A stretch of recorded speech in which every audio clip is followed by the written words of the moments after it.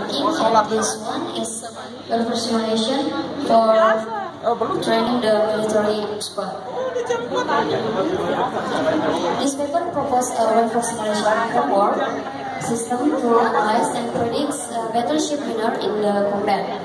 To predict the winner, we need to analyze the winning factors of battleship combat.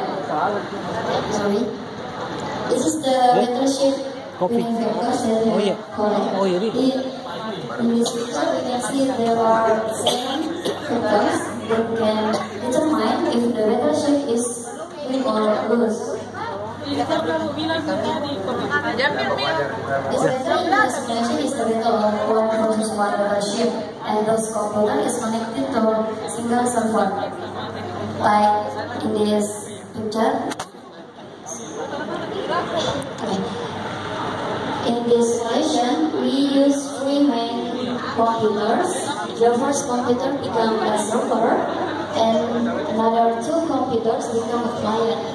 And these client computers will send the information about what kind of battleship they chosen by the commander to this server.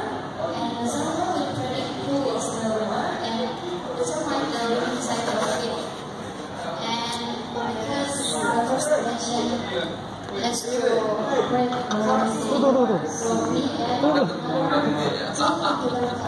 itu baru kita.